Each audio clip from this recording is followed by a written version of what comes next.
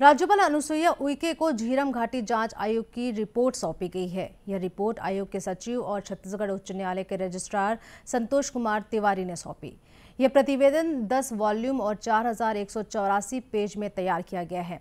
यह आयोग छत्तीसगढ़ उच्च न्यायालय के पूर्व न्यायाधीश प्रशांत कुमार मिश्रा की अध्यक्षता में गठित किया गया था। श्री मिश्रा छत्तीसगढ़ उच्च न्यायालय के कार्यवाहक मुख्य न्यायाधीश भी थे और वर्तमान में आंध्र प्रदेश उच्च न्यायालय के मुख्य न्यायाधीश हैं। झीरम घाटी की घटना 25 मई 2013 को हुई थी। इस घटना की जाँच के लिए आयोग का गठन 28 मई 2013 को किया गया था। आपको बता दें कि बस्तर के झीरम घाटी में माओवादियों ने तत्कालीन कांग्रेस विधायक नंद कुमार पटेल के काफिले पर हमला किया था, जिसमें नंद कुमार पटेल, महेंद्र कर्मा सहित कई लोग शहीद हो गए थे। इस घटना में पूर्व केंद्रीय मंत्री विद्याचरण शुक्ल गंभीर रूप से घायल हुए थे, जिनका बाद में इलाज के दौरान निधन हो गया था।